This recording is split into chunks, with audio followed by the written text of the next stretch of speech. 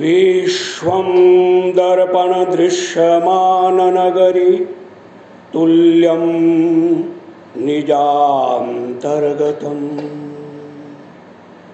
पश्यन्नात्मनि मायया बहिरिवोद्भूतं यथा निद्रया।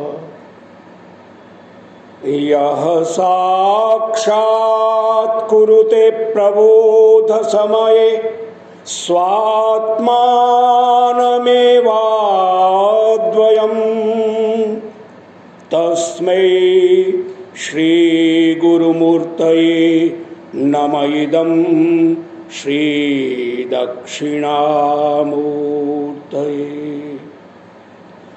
सदाशिवसमारम्भाम् शङ्कराचार्यमध्यमाम् अस्मदाचार्यपर्यन्तां वंदे गुरुपरम्परां वंदे गुरुपरम्पराम्। अत्रोपस्थितेभ्यः सर्वेभ्यः विद्वद्वर्येभ्यः सादरं प्रणमामि, अभिनंदनम च करोमि। इस शुभ अवसर पर मेरी जो अनुभूति है, वो ये है कि जब भगवान महाकाल की अनुकंपा होती है तो उज्जैनी में आने का संयोग बनता है। तीन वर्ष या चार वर्ष पूर्व मैंने शिव शक्ति के तादात्म्य पर इसी मंच से अपनी बात कही थी। आज पुनः प्रसंग के साथ मैं गुरु शिष्य परंपरा के जो वर्तमान परिप्रेक्ष्य में क्या स्थिति है, वो यथामति यथानुभव आप विद्वजनों के सामने बात को रखूँगा। इस अवसर पर कुलपति महोदय, मेनन साहब, आदरणीय विद्वद्वर्य कुलपतिचर परमेश्वर शास्त्री जी महोदय और कालिदास संस्कृत अकादमी के पंड्या जी, पिरोहा जी और आप सब लोग, आप सबको मैं नामना, सर्वे पदा हस्ति पदे निमग्ना समझ के आपको सबको प्रणाम करता हूँ और मैं अपना विषय आरंभ करता हूँ। थोड़ा सा यांत्रिक है, लेकिन अपनी बात को सिलसिलेवार और समय की मर्यादा में पूरा करने के लिए मैंने तैयार किया है।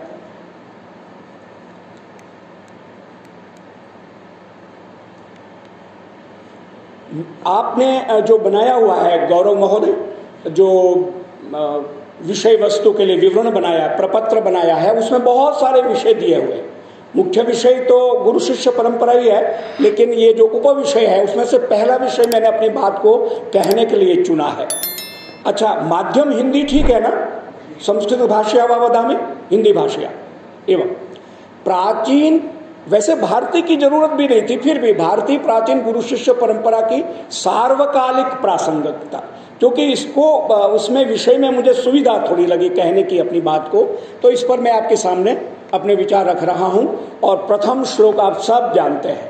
दक्षिणामूर्ति स्त्रोत्र का है चित्रम वट तरोर मूले वृद्धा शिष्या गुरुर युवा गुरोस्त मौन व्याख्यानम शिष्यास्तु छिन्न संशया। और इसके पीछे जो कथा है सनत कुमारों की और वो आप सब जानते होंगे कि किस तरह से महादेव ने, महाकाल ने युवा के रूप में वटवृक्ष के नीचे मौन बैठ गए जब सनत कुमार आदि बहुत घूमे। और जब उनके संदेह, उनकी जिज्ञासाएँ शांत नहीं हुई तो बैठे और उसके बाद उनको आत्मज्ञान हो गया कि भाई जो अनुभूति है, वो वाणी के बिना केवल मौन धारण करके उस परब्रह्म को अनुभूत, परम शिव को अनुभूत किया जा सकता है। वो ईश्वर तो गुरु शिष्य परंपरा यहाँ से हम संकेत एक तो ले सकते हैं। और दूसरा है, ये चतुर्थ अध्याय में ये श्लोक आप सब जानते हैं इमम विवस्वते योगम प्रोक्तवान अहम अव्ययम विवस्वान मनवे प्राह, मनुरिक्ष्वा क्योंकि इससे पहले द्वितीय अध्याय में जब आगे मैं आपको बताऊँगा कि शिष्यस्ते हम शाधिमाम। जब अर्जुन शिष्यत्व ग्रहण करता है, शास्यते शासित स शिष्य जैसा कि मैं मेरा व्याकरण का ज्ञान है उसे तो जो अनुशासन में है वो शिष्य है, और गुरु गुरुत्वाद गुरु। वैसे स्कंद पुराण में गुरु गीता है, उसके बारे में भी मैं थोड़ा विस्तार से आपको बताऊँगा। तो उसके बाद एवं परंपरा प्राप्त मिमम राजर्षयो विदु। सकाले नेह महता। नष्टो योगो योगो नष्ट परम तप। तो इस काल की जो अनंत परम प्रवाह है, उसमें ये परंपराएँ नष्ट भी होती है और फिर रिवाइव होती है, पुनर्जीवित होती है। लेकिन गुरु शिष्य के माध्यम से, ये मेरा कहने का अर्थ है अब उसके बाद हम देखेंगे, स एवायम मया तेज्य योग प्रोक्त पुरातन। ये पुरातन शब्द को हाईलाइट किया है कि ये पुरातन, पुरातनोपि अधुनातन, सद्य, नूतन, अभिनव इति वक्तुम शक्य थे क्योंकि वो सदा सर्वदा सनातन है, अस्तित्व में है। विलुप्त होगा, लेकिन पुनर् उसका पुनर्जीवन होगा गुरु के द्वारा, योगेश्वर के द्वारा। महान पुरुषों के द्वारा, संतों के द्वारा कोई भी मतलब हम कह सकते हैं। भक्तों से में सखा चेती रहस्य रहस्य शब्द पर। क्योंकि बहुत सारे रहस्य है अध्यात्म मार्ग में। कुछ तो साधक अपनी साधना के द्वारा प्राप्त कर सकता है, लेकिन कुछ के लिए गुरु की कृपा बहुत आवश्यक है। जब तक गुरु की, वैसे तो आत्म कृपा शास्त्र कृपा, गुरु कृपा, ऐसे हमारे यहाँ विभाग विद्वानों ने किया है आत्म कृपा चाहिए, लेकिन गुरु कृपा बहुत आवश्यक है। ये द्वितीय अध्याय में जब वो शिष्य थे हम तो शिष्य और गुरु की परंपरा को प्रतिष्ठापित करने के लिए आप विद्वजनों के सामने मैंने ये गीता की बात रखी। अभी कल ही, वैसे तो ये पाँच साल पहले लेख लिखा है, रेडियो टॉक है, जिसमें gurukul traditions and ancient India, मैंने फेसबुक पर भी इसको अपलोड कर दिया है, पहले भी किया था। इसमें मैंने प्रयास किया था कि किस तरह से भारत में गुरु शिष्य परंपरा है गुरुकुल परंपरा थी, उसका वर्णन किया था। और इसमें अथर्ववेद, आपने जो विवरण बनाया, उसमें भी अथर्ववेद का आपने संदर्भ दिया है। आचार्यो ब्रह्मचर्य ब्रह्मचारिणम इच्छते थी कि किस तरह से जो आचार्य है, जो गुरु है, अपने अपने चारित्र बल के द्वारा, साधना के द्वारा, ऐसा शिष्य, बहुत सारे ऐसे वचन मिलते, जब वो कहते हैं कि मेरे पास ऐसे ऐसे विद्यार्थी और छात्र और बटुआ बटुआए जिसको मैं अपना ज्ञान वितरित कर सकूँ। तो इस तरह के संदर्भ इसमें मिलते हैं। इसको विस्तार से किया। आपने जो किया वो आचार्य उपनय मानो ब्रह्मचारिणम कृणुते गर्भ बनता है इसमें गुरु को माँ का स्थान दिया गया है, वेद की ऋचाओं में। कि गुरु माँ है, माँ जैसे स्थूल शरीर को इस भूमंडल पर अवतरित करती है, लाती है। तो गुरु शिष्य का जो आध्यात्मिक शरीर है, उसका जो पूरा साधनामय शरीर है, उसको प्रतिष्ठापित करने के लिए हमारे सामने। और इसमें गोविंद पादाचार्य, भगवान शंकराचार्य, विवेकानंद जी का भी गौरव ने उदाहरण दिया और शुभम ने बात कही। विवेकानंद जी, श्री रामकृष्ण ठाकुर जी और बहुत सारे संत, ज्ञानेश्वर जी, उनके बड़े भाई साहब। और फिर इसी तरह से तो कबीर साहब का एक भजन है, रहना नहीं ये देश बिराना है। तो उसमें वो सदगुरु कृपा लास्ट में वो कहते हैं कि बिना सदगुरु की कृपा ये अपने आप को समझना या आत्मज्ञान प्राप्त करना बहुत कठिन है। सभी संतों का एक ही अनुभव है इसके बारे में। और ये विस्तार है, इस पर मैं नहीं जाऊँगा। अब मैं आता हूँ भगवान शंकराचार्य जी का जो गुरुवष्टकम है उस पर उसकी फलश्रुति में वे कहते हैं गुरोरष्टकम यह पठेत पुण्य देही अब सब जानते हैं यतिर भूपतिर ब्रह्मचारी चगेही लभेत्वांशितार्थम पदम ब्रह्म संयम गुरु रुक्त वाक्य मनोजस्य लग्नम। और उसके पूरा स्तोत्र है, न भोगे, न योगे, न वावाजी राजौ न कांता सुखे ने वित्तेषु, चित्तम। मनश्चेन्न लग्नम, गुरो रंघ्रि पद्मे, ततः किम ततः किम ततः किम ततः किम। विदेशेषु मान्य, स्वदेशेषु धन्य। इस तरह से उन्होंने सब कुछ कहा और गुरु में अगर मन नहीं लगा तो इससे क्या लाभ इस तरह से कहा है। तो गुरु की महिमा अपरंपार है। आप सब जानते हैं, शब्द वाणी वहाँ नहीं पहुँच सकती है। श्रीमद गुरु गीता में अपना स्कंद पुराण में जो गुरु गीता 132 श्लोक में पाई जाती है, उसमें गुकारस्तंधकारोस्ती रुकारस्त निरोधका अंधकार निरोधित्वाद गुरु रित्यभिधीयते इस तरह से गुरु की जो व्याख्या की है, गु माने अंधकार, रू उसका निरोधक है। तो अंधकार का विरोध यानी प्रकाश को जो प्रकट करे, वो गुरु है। बाकी तो वो बहुत सारे शब्द हमें मिलते हैं। तो गुरु शिष्य का ये संबंध है। हमारे आचार्यों ने, विद्वानों ने, संतों ने, महात्माओं ने, महर्षियों ने, ऋषियों ने जो कुछ अनुभूत किया, उसको हमारे सामने रखा है। आज से 200 वर्ष पहले, जो कि 150 वर्ष उनकी जयंती प्रतिवर्ष मनाई जाती है माधवानंद जी महाराज, जिस गुरु परंपरा में मैं हूँ, इसलिए मैं आपके सामने इस बात को रख रहा हूँ। माधवानंद जी महाराज जी, जो स्वामीनारायण संप्रदाय के स्वामी जी है, उसके तत्कालीन कंटेम्प्रेरी थे। वसतड़ी गाँव, जो जिला सुरेंद्र नगर है, उसमें है गुजरात में। वहाँ के एक, तब, गोस्वामी परिवार कहिए, उसमें वो हुए, सिद्ध संत थे। और उन्होंने उस समय, आप कल्पना कीजिए, आज से 200 साल 150 साल पहले जो भारत था, ब्रिटिश शासन था, और बहुत सारी अशिक्षा, दुर्व्यसन और कई कुरीतियाँ, तामसिक पदार्थों का सेवन, इन सब के लिए उन्होंने काम किया गाँव गाँव घूमकर।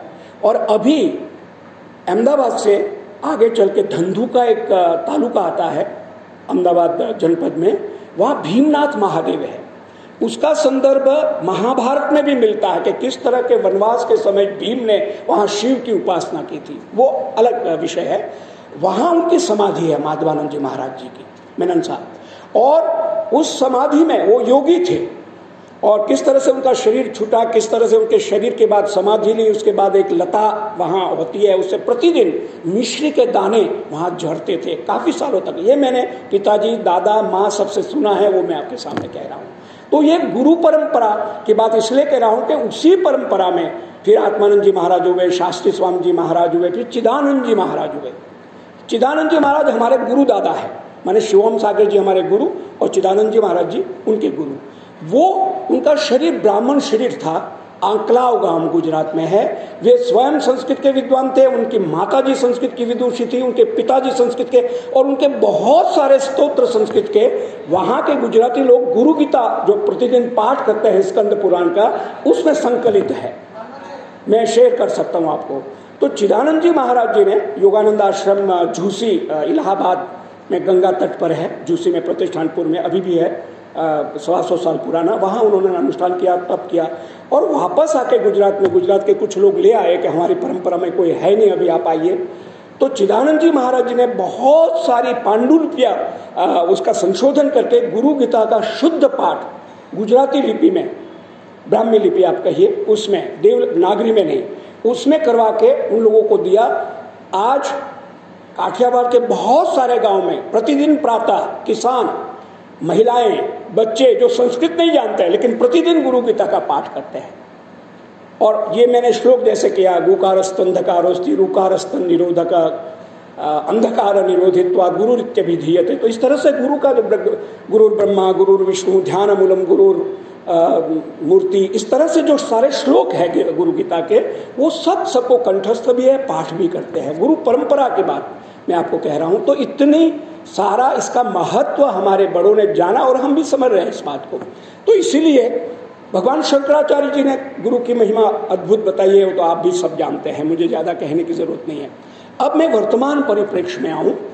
वर्तमान परिप्रेक्ष्य में गुरु शिष्य परंपरा वास्तव में आध्यात्मिक प्रज्ञा को नई संतति तक पहुँचाने का समय क्योंकि बहुत सारे स्कूल है, विद्यालय है, विश्वविद्यालय है, वहाँ फ़ीस देकर विद्यार्थी पढ़ते हैं इक्कीसवीं शताब्दी के तीसरे दशक की बात जब हम कर रहे हैं तो बहुत सारा विद्या का जो क्षेत्र है, विद्यार्थी, छात्र, शिष्य, ये सोचता है मैं पैसा दे के विद्या ले रहा हूँ तो व्यवसायीकरण उसका हो गया है। तो जो सम्मान, मान, समर्पण क्या था, वो समाप्त हो गया, भौतिकता आ गई। तो वास्तव में ये जो बात है, भारतीय संस्कृति में गुरु शिष्य परंपरा के अंतर्गत गुरु अपने शिष्य को शिक्षा देता है या कोई विद्या सिखाता है, ये हम सब जानते हैं। बाद में वही शिष्य गुरु के रूप में दूसरों को शिक्षा देता है, यही निरंतर प्रगतिशील क्रम सनातन वैदिक संस्कृति में गुरु शिष्य परंपरा का एक शाश्वत प्रवाह है, जो हम अनुभव करते हैं। लेकिन जो नूतन शिक्षा नीति की बात अभी गौरव ने शायद कही थी तो नूतन शिक्षा नीति 2020 के बारे में आप सब शिक्षा क्षेत्र से जुड़े हुए हैं। इसमें इस बात का ध्यान रखा गया है कि आधुनिक शिक्षा प्रणाली में भारतीय गुरु शिष्य परंपरा को यथोचित स्थान दिया जाए।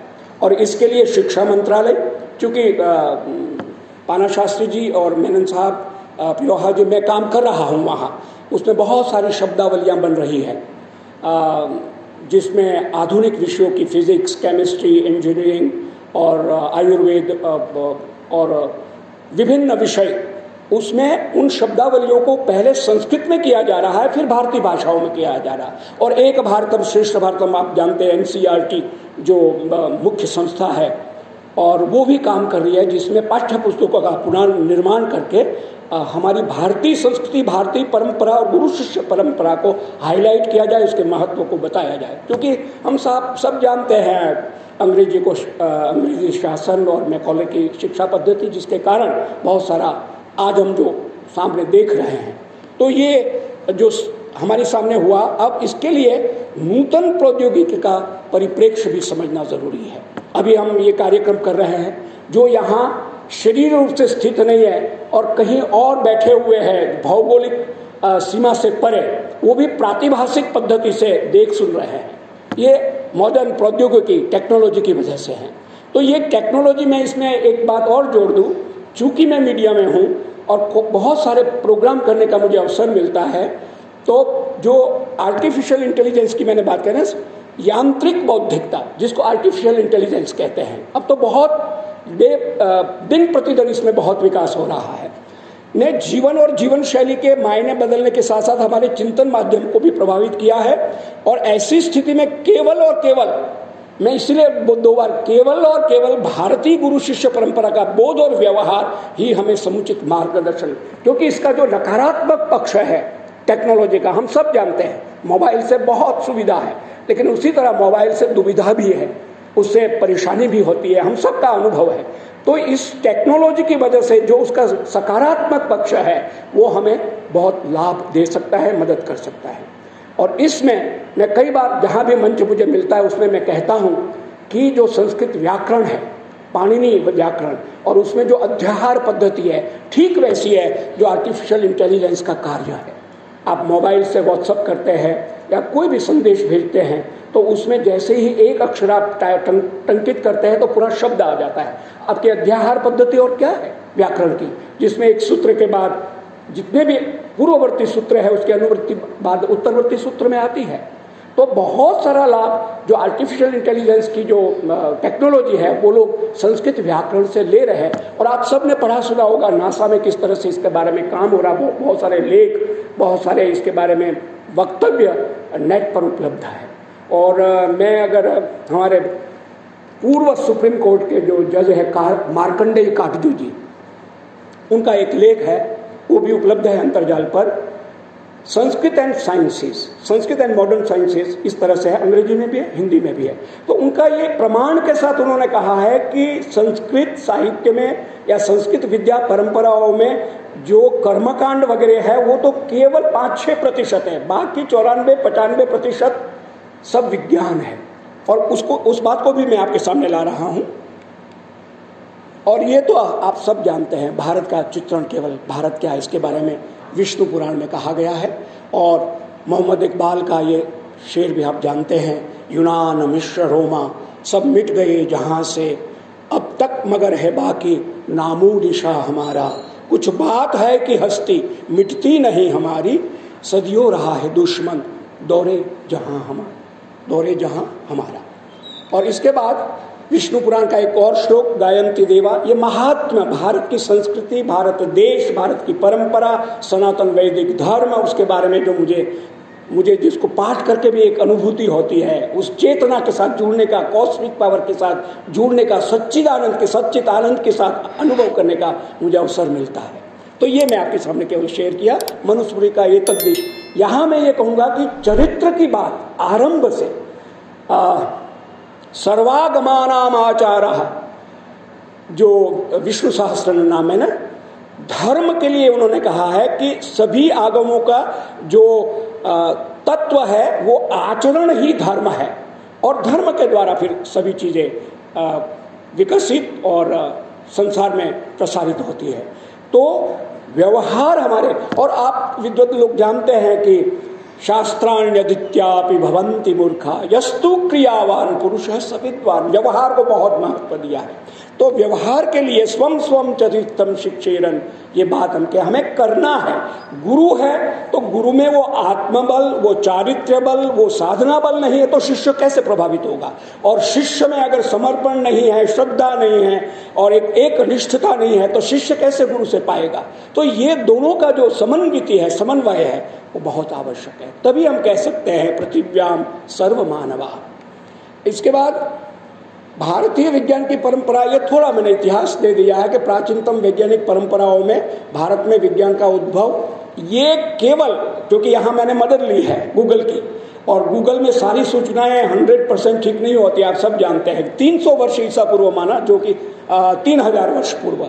इसमें भी विद्वानों में सम्मति पूरी नहीं है। हड़प्पा तथा मोहनजोदड़ो की खुदाई से प्राप्त सिंधु घाटी के प्रमाणों से वहाँ के निवासियों की वैज्ञानिक दृष्टि तथा वैज्ञानिक उपकरण के प्रयोग का पता चलता है। आप सब जानते हैं। प्राचीन काल में चिकित्सा विज्ञान के क्षेत्र में चरक, सुश्रुत, ये भी आप जानते हैं। खगोल विज्ञान व गणित के क्षेत्र में आर्यभट्ट, ब्रह्मगुप्त और आर्यभट्ट द्वितीय और रसायन विज्ञान में नागार्जुन की के आविष्कारों का बहुत महत्वपूर्ण योगदान है। लेकिन अब जो वर्तमान स्वरूप है, उसके बारे में हम बात करें कि करीब इतनी एक अरब चालीस करोड़ से अधिक जनसंख्या वाला देश भारत विश्व का सबसे बड़ा लोकतंत्र है। पिछले दशक में भारत विश्व की अर्थव्यवस्था से जुड़ा है और साथ ही उसका आर्थिक विकास भी हुआ है। भारत अब एक विश्व खिलाड़ी के रूप में भी उभरा है। आप सब न्यूज़ सुनते हैं, जानते हैं। भारत का आधिकारिक नाम भारत गणराज्य या रिपब्लिक ऑफ़ इंडिया, दक्षिण एशिया में स्थित भारतीय उपमहाद्वीप का सबसे बड़ा देश है और भौगोलिक दृष्टि से विश्व का सातवां सबसे बड़ा देश है। जबकि जनसंख्या के दृष्टिकोण से चीन के बाद दूसरा सबसे बड़ा देश है। आज विज्ञान का स्वरूप अत्यधिक विकसित हो चुका है।